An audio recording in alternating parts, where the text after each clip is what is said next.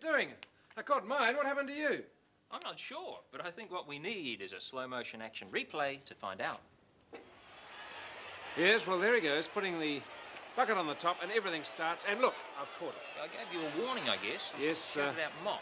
I must say you did. You gave me time to react. Yes, and the broom had hit the floor before I was even off the ladder. You seem to have very good reaction time, Rob. Let's see if it can earn you some money. Well, time to knock off anyway. Here's a dollar note, and it's yours if you can catch it. Where do I put my fingers? Uh, you know? about five centimetres apart, and I'm going to drop it, but I won't give you any warning. Oh, You missed it.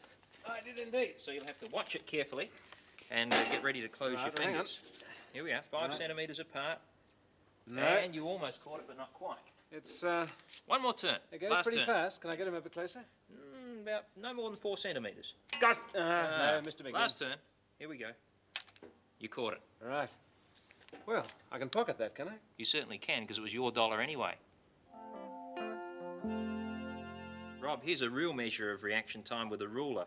Your fingers are near the zero end. Watch it and get ready to catch it when I drop it. Right. And you got it at the 18 centimetre mark. Let's try that again. Fingers five centimetres apart. Mm, that's right. And watch it carefully. And that time it's the 16 centimetre mark. Your average is 17 centimetres.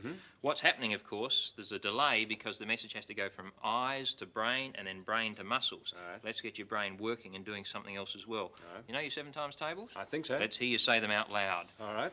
And Well, you still I'm have to do the same thing. okay. Yes. One seven seven, two sevens are fourteen, three sevens are twenty-one, four sevens are twenty. Right. 20 centimetres that time, a little slower. Uh, what do you like at nine times Well, table? we'll see, won't we? Okay. One's nine's nine, two nines are eighteen, three. And there you're up to 22. Hmm, so certainly your slows average it is down, 21. Hmm. Why don't you get a bunch of friends together and test reaction times both with multiplication tables and without?